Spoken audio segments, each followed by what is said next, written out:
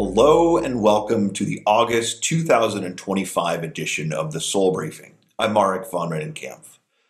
This month we'll be covering new details on the brazen incursions by unknown objects over Wright Patterson Air Force Base late last year, eyebrow raising UAP focused comments from Vice President J.D. Vance and Senator Mike Rounds, and the introduction of the historic UAP Disclosure Act by Senate Democratic leader Chuck Schumer. But we begin this month's briefing with the groundbreaking work of astronomer Dr. Beatriz Villarroel and her colleagues. In a fascinating new paper titled Aligned Multiple Transient Events in the First Palomar Sky Survey, Dr. Villarroel and her co authors analyzed thousands of transients, star like phenomena that appear in pre Sputnik astronomical surveys of the sky when no man made objects orbited the Earth. Now, the key to the astronomers' work is that they find with exceptionally high confidence, far higher than the 5 sigma standard generally considered to be the threshold for claiming a statistically significant discovery in astronomy or physics, that these transient phenomena are not are not found in the Earth's shadow, which is also known as the umbra. This intriguing result, if it is confirmed in the peer review process, is important for two main reasons. First, it largely rules out optical artifacts or defects as explanations for the transients. Imaging defects, for example, would have no reason to avoid the Earth's shadow. Second, the dearth of transients in the Earth's shadow suggests the presence of previously unknown sunlight reflecting objects that, due to the optical characteristics of the equipment involved, were several hundred kilometers above the Earth. Not only that, Dr. Villarroel and her colleagues found several candidate transients that appear aligned if the transient phenomena are indeed reflections of the sun off of bright, shiny objects in the pre Sputnik era, such alignments suggest any number of possibilities, to include multiple objects reflecting the sun as they fly in formation, different parts of the same object reflecting the sun, erratic flight dynamics, or a combination of these possibilities. Intriguingly, one of the most statistically significant alignments of transients was captured on July 27, 1952, which coincides with the second weekend of the well known and very well documented July 1952 UAP incidents over Washington, D.C., when multiple radar facilities, pilots, and ground observers all saw objects behaving in perplexing ways over the course of two successive weekends. Now, this work by Dr. Villarroel and her colleagues is particularly interesting because the earliest US government analyses of UAP, dating back to the late 1940s and early 1950s, all describe, quote, metallic or, quote, light reflecting objects. Not only that, the UAP era formally began in late June 1947 when a pilot named Kenneth Arnold observed a, quote, bright flash reflecting off of one of nine disc like objects that flew erratically in the vicinity of Mount Rainier in Washington state. Arnold's hand drawn image of one of the objects specifically states, quote, very bright when sun reflected, end quote. Now, the September 1947 Twining Memo one of the most important documents in UAP history, which ordered the U.S. Air Force's formal investigation of the phenomenon, described the objects observed by many credible witnesses up to that point, first and foremost, as having a quote, metallic or light reflecting surface, end quote. Similarly, a late 1948 Air Force analysis of UAP largely rules out mass hysteria, individuals seeking media attention or media influence as explanations for UAP because, in one notable example, two trained observers working with the then U.S. Weather Bureau saw, quote, metallic discs, end quote, with a quote, flat bottom, end quote, on multiple occasions months before, before Kenneth Arnold's widely reported June 1947 sighting. Now, while time constraints do not permit a full accounting of the many, many incidents where credible witnesses reported, quote, flashes, or in another notable instance, the, quote, bright, shiny appearance of sunlight reflecting from aluminum, end quote, suffice it to say that the UAP reported beginning in the late 1940s offer a plausible hypothesis for the brief transient glints identified by Dr. Villarroel and her colleagues in those contemporaneous astronomical surveys. It should also be noted that many witnesses described such metallic, light reflecting objects exhibiting bizarre, erratic flight characteristics, such as, quote, wobbling, oscillating, and flipping. Such observations are also not merely relics of the past. The Navy aircrew that observed the well known gimbal UAP in 2015, which appears to have a disc like shape in infrared video, reported that the object appeared to engage in a quote wobbly motion after the end of the publicly available video segment. Such erratic flight characteristics and movements from objects with highly reflective metallic surfaces could conceivably account for the frequent aligned flashes observed by Dr. Villarroel and her colleagues. Now, finally, it should be noted that Dr. Villarroel has submitted another intriguing paper which finds statistical significance among transient observations nuclear tests, and large scale historical UAP sightings. That paper, along with a third paper recently published in the Royal Astronomical Society's journal, and which previews the astronomer's innovative Earth shadow analysis method, is linked in the description below. Now, it would be quite the understatement to say that this area of research deserves close attention. And on that note, I am pleased to announce that Dr. Villarroel will be the guests on this month's Sol Forum, the Sol Foundation's long form discussion series, alongside Doctors Peter Skafish and Garry Nolan. Sol Foundation members enjoy early access to the discussion and may take part in the live Zoom breakout session immediately afterward this Friday, at 3:30 p.m. Eastern Time. To join the Sol Foundation and this exciting conversation, please look for the link in the description below or visit thesolfoundation.org and click membership. Newly released FAA documents, courtesy of John Greenwald and theblackvault.com, provide intriguing details about the incursions of unknown objects over Wright Patterson Air Force Base in Ohio last December. Now, just as a reminder, these flyovers were so brazen that they caused the facility to shut down its airspace, which drew national media coverage.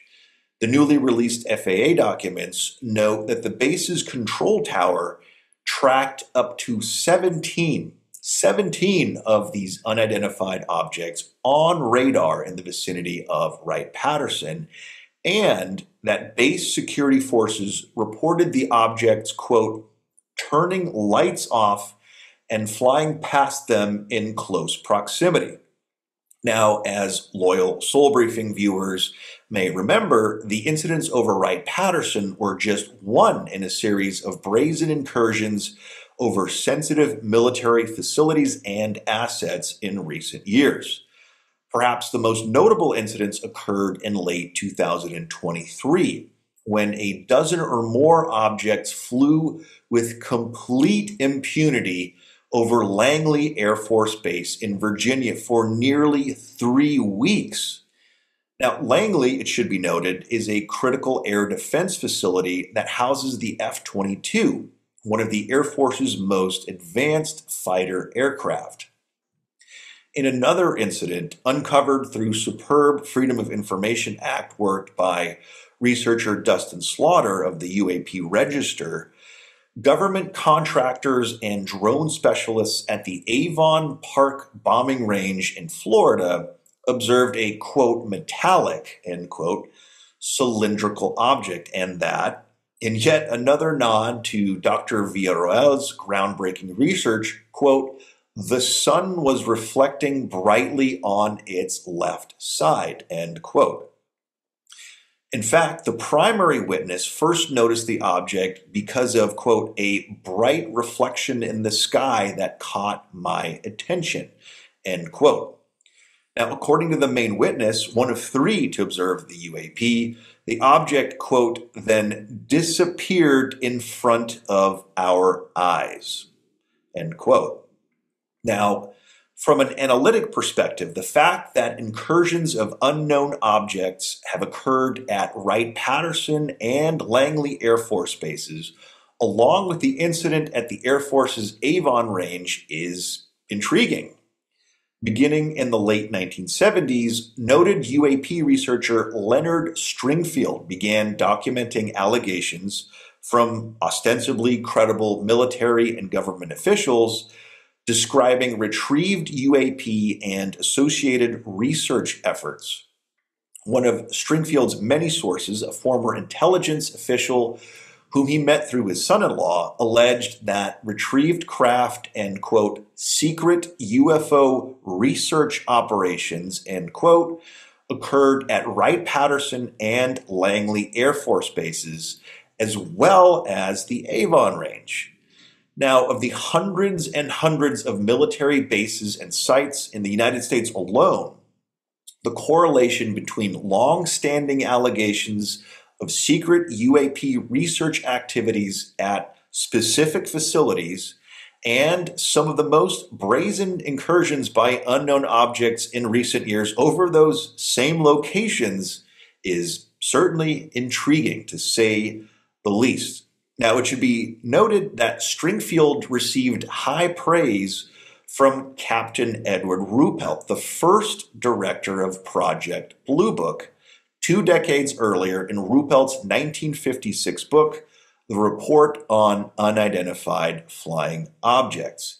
Now, that book, which details countless perplexing UAP incidents, is a must read for any student or analyst of the UAP topic. In an August 1st podcast discussion, Vice President J.D. Vance stated that he is, quote, obsessed with the UAP topic and with recently released UAP videos in particular. Vance is just the latest Trump administration official to make intriguing comments on the topic, following statements from Secretary of State and acting National Security Advisor Marco Rubio, who spoke out several years ago in his capacity as the vice chairman of the Senate Intelligence Committee.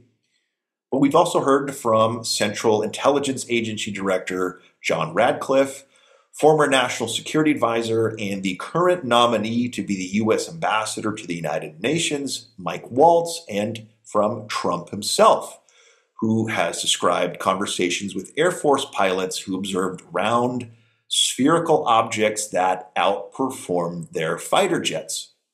At the same time, Congresswoman Anna Paulina Luna of Florida told congressional reporter Matt Laslo earlier this year that Director of National Intelligence Tulsi Gabbard has been, quote, extremely helpful, end quote, in Congress's ongoing investigation of the UAP topic.